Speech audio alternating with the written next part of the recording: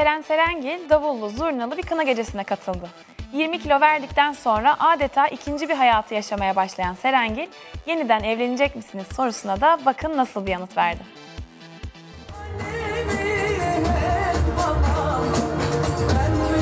Seren Serengil'den düğün gibi kına gecesi. Kına gecemiz var. Ee,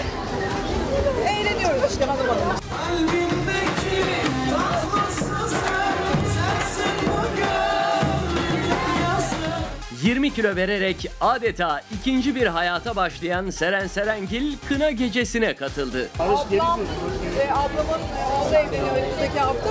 Bugün de Allah Pardon. olsun yani kına gecemiz var. Ee, eğleniyoruz işte hanım hanım. Böyle bu kadar.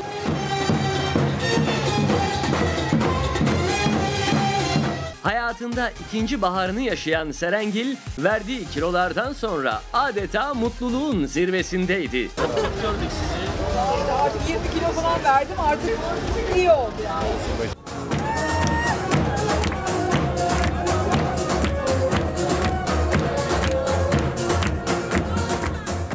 Ablasının oğlunu evlendiren ve bu özel gece için organizasyonda katkısı da olan Seren Serengil daha önce 3 kez evlenmiş ancak 3 evliliği de boşanmayla sonuçlanmıştı. Tabii darısı başıma benim de inşallah.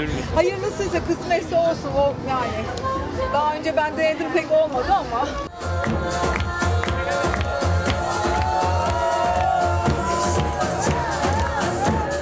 Seren Serengil estetik ameliyat yaptırdığı iddialarına da yanıt verdi. Basında bazı haberler çıktı.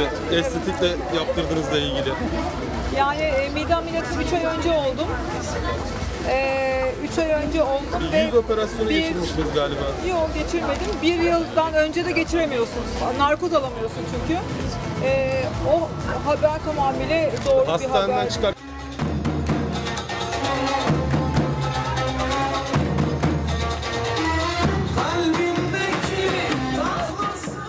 Seren Serengil bir hastaneden çıkarken çekilen fotoğraflarını da onlar yaptığım bir hasta ziyareti fotoğraflarıydı dedi. Ablamla annem hastaneye gitmişlerdi, onları çekmişler.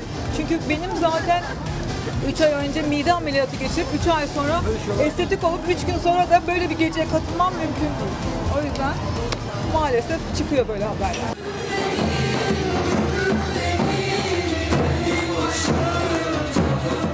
Seren Serengil'e de işte böyle kına yaktılar.